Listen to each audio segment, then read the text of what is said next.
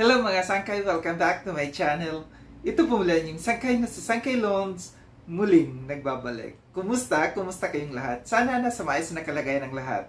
Mapadit sa Pilipinas or sa mga nasa ibang bansa, dobling ingat tayo no. So mega mega love shoutout sa inyong lahat. Sa Team Sangkay Original, Team Sangkay Sponsors, Team Kalingap, Kuya Val at na Kalingap Rob, sa lahat ng aking mga followers, supporters, and subscribers, sa mga lolos, lolas, FWs, and PWDs, mega, mega love shoutout sa inyong lahat. And of course, I love you all. Ayan.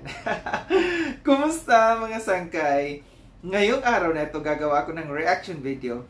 Ito'y continuation doon sa ano no, sa live.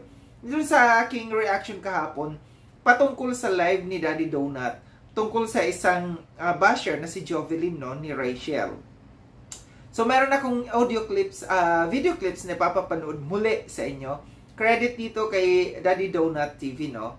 Uh, sa lahat ng mga hindi pa nakapag-subscribe kay Daddy Donut, subscribe niyo po siya.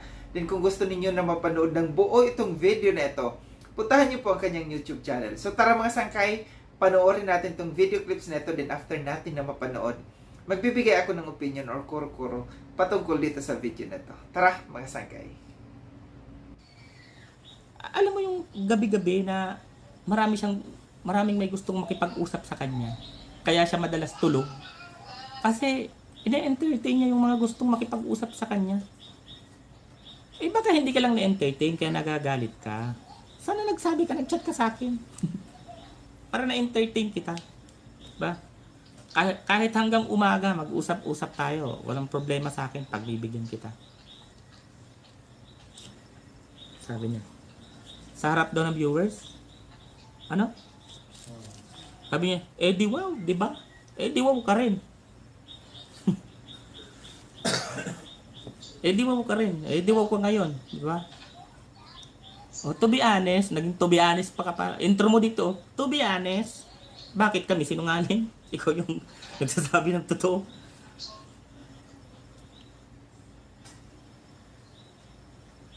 Ay, ne, Ne.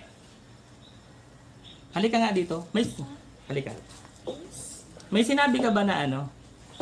Sa kahit saang vlog may sinabi ka ba na Akala ko ba susuportahan mo ako? Ito pakinggan mo to. Ito, ito pakinggan mo. To be honest, eh di ko nang honest. Ito, ito. Kami na yung mga sinungaling.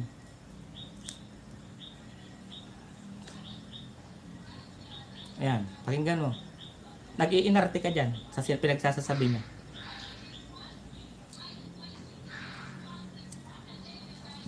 Oh, ano, yung umpisa lang. Meron bang vlog na nandun ka, na umaarte ka na gusto mo ikaw lang yung suportahan? Hindi po ako nagsasabi ng ganyan.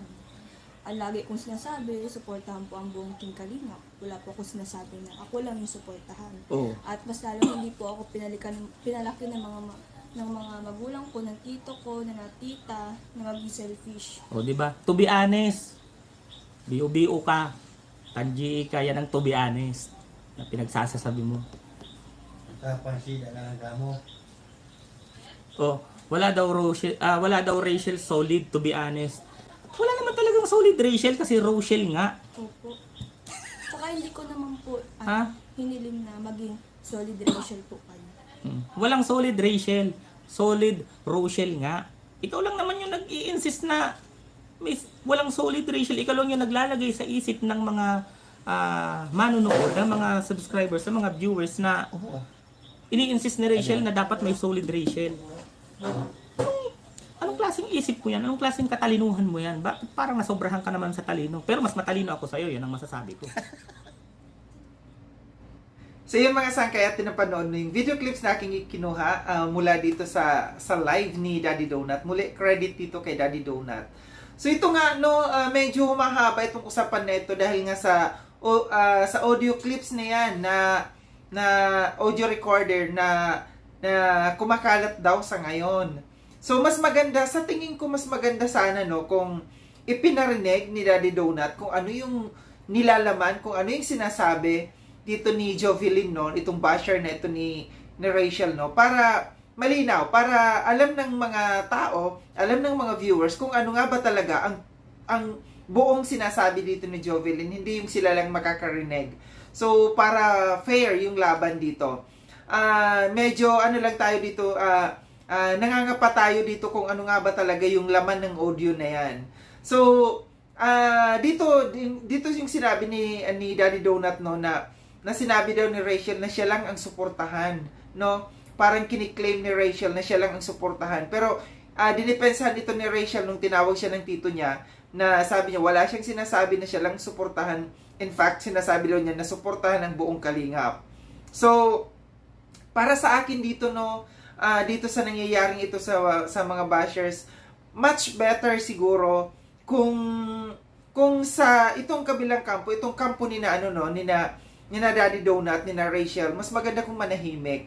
Mas maganda kung i-ignore nila yung mga bashers kasi hindi talaga natin mapiplease ang lahat. The more na na na kanilang sinasagot yung mga bashers, the more na mas maraming bashers na na makikisaw-saw diyan.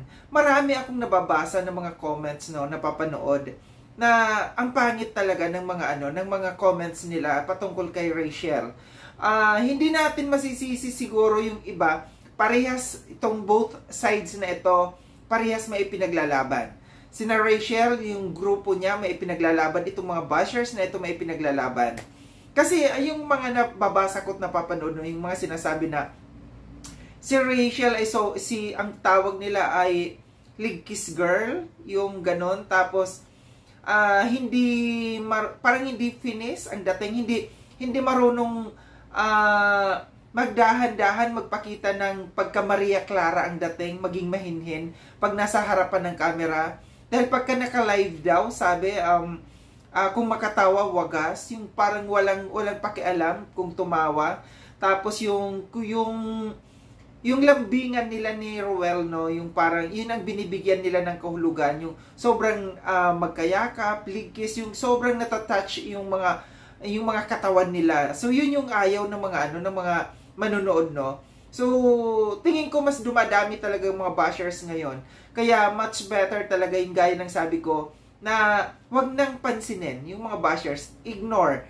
I-lesson yung ano siguro advice kay Rachel no, i-lesson niya yung pagiging ah, sobrang sweet sa kay Ruel. Pwede naman na in private na lang nila gawin yung mga ganong bagay no yung sobrang ah, yung ayaw ng mga na- ah, viewers na napapanood sa kanila yung lampungan, yung mga yakapan na na kaya ang tawag sa kanya lig lig ano lig kiss girl.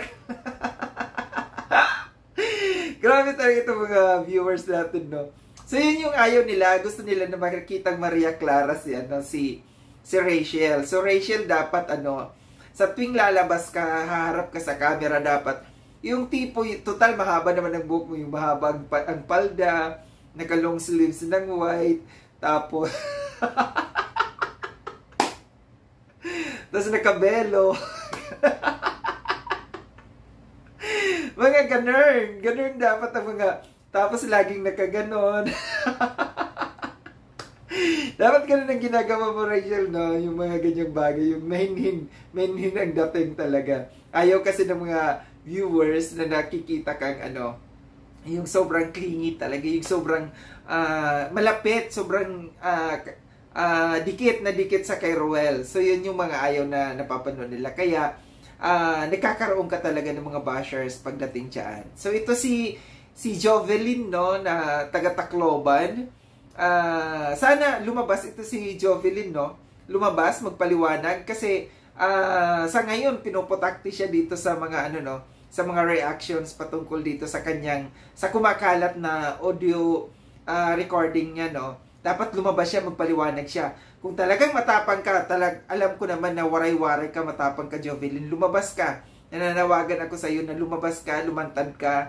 Kung ano man ang ipinaglalaban mo maintindihan ng lahat no Ah, kasi parehas both sides sabi ko mayroon kayong mga ipinaglalaban so ito lang yung aking reaction patungkol dito sa video na ito na ah mas maganda talaga dito sa kampo ni Rachel ignore yung lahat ng mga bashers wag nang sumagot. Ah, kung hindi man totoo yung mga paratang sa iyo wag nang sumagot ignore na lang kasi total hindi ka naman maapektuhan kung hindi naman totoo yung mga sinasabi nitong mga bashers na ito Maraming salamat mga Sangkay Lon sa panonood.